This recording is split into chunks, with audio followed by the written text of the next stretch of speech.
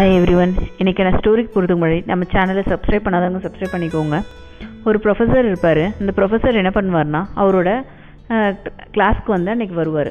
வந்து என்ன பண்ணுவார்னா திடீர்னு எல்லாருக்கும் இன்றைக்கி உங்கள் எல்லாருக்கும் ஒரு சர்ப்ரைஸ் டெஸ்ட் இருக்குது அப்படின்னு சொல்லுவார் எல்லோரும் ஷாக் ஆகி உடனே பார்ப்பாங்க. உடனே அவர் என்ன பண்ணுவார்னா எல்லாருக்கிட்டையும் ஒரு ஒரு பேப்பர் தருவார். இப்போதைக்கு இந்த பேப்பரை நீங்கள் டேர்ன் பண்ணக்கூடாது. நான் எப்போ சொல்கிறேனோ அப்போ மட்டும் தான் நீங்கள் வந்து இதை டேர்ன் பண்ணி பார்க்கணும் அப்படின்வார் ஸோ எல்லோரும் என்ன பண்ணுவாங்கன்னா அந்த கொஷின் பேப்பர் வந்து திரும்பி இருக்கும். திரும்பி இருக்கும் என்ன பண்ணுவாங்கன்னா எல்லாரும் இது பண்ணிவிட்டு அவர் சொல்லுவார் இப்போ நீங்கள் ஓப்பன் பண்ணலாம் அப்படின்னு சொல்லுவார்.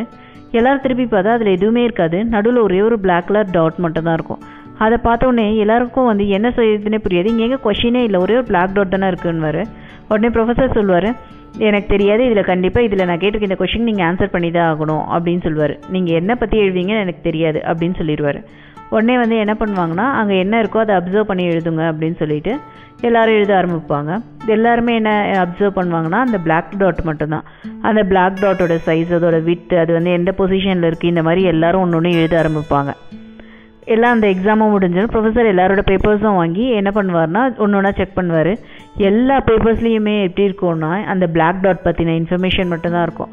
அவர் உடனே சொல்வார் நான் வந்து உங்ககிட்ட ஒரு பேப்பர் கொடுத்தேன். அந்த பேப்பரில் நடுவில் ஒரு பிளாக் கலர் டாட் இருந்துச்சு அவ்வளோதான் எல்லாரும் அந்த பிளாக் கலர் டாட்டை தான் கான்சென்ட்ரேட் பண்ணியிருக்கீங்க நான் கொடுத்த அந்த ஒயிட் கலர் பேப்பரை நீங்கள் ஏன் கான்சென்ட்ரேட் பண்ணவே இல்லை?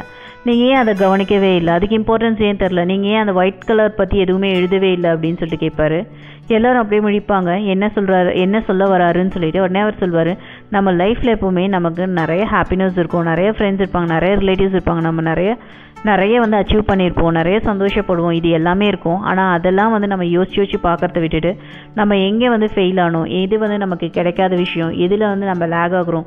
இதை மாதிரி கான்சென்ட்ரேட் பண்ணுவோம். அதுதான் அந்த பிளாக் கலர் டாட் மாதிரி.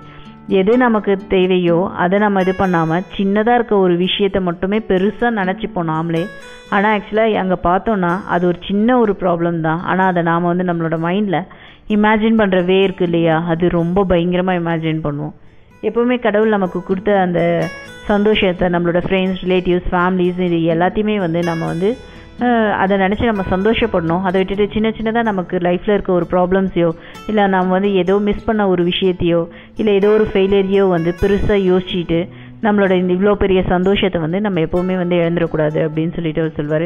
எப்போவுமே நீங்கள் லைஃப்பில் யோசித்து பார்க்குறப்ப நீங்கள் யோசித்து பார்க்க வேண்டியது உங்களோட ஹாப்பினஸ் உங்களோட சக்ஸஸ் நீங்கள் சக்ஸஸ் ஆன விஷயங்களையோ தானே தவிர ஏதோ ஒன்றுத்தில் நீங்கள் மிஸ் பண்ணதையோ இல்லை வந்து ஏதோ ஒரு ப்ராப்ளம் நீங்கள் ஃபேஸ் பண்ணிகிட்டு இருக்கிறதையோ யோசிச்சுட்டு இருக்கக்கூடாது அப்படின்னு சொல்லிட்டு அந்த பசங்களுக்கு வந்து அதை சொல்லி முடிப்பார். இதே மாதிரி நிறைய ஸ்டோரிஸ்க்கான லிங்க் டிஸ்கிரிப்ஷனில் இருக்குது கிளிக் பண்ணி பார்த்துக்கோங்க. உங்களுக்கு இந்த ஸ்டோரி பிடிச்சிருந்துச்சுன்னா லைக் பண்ணுங்கள் இதே மாதிரி இன்னொரு ஸ்டோரியில் பார்க்கலாம். தேங்க்யூ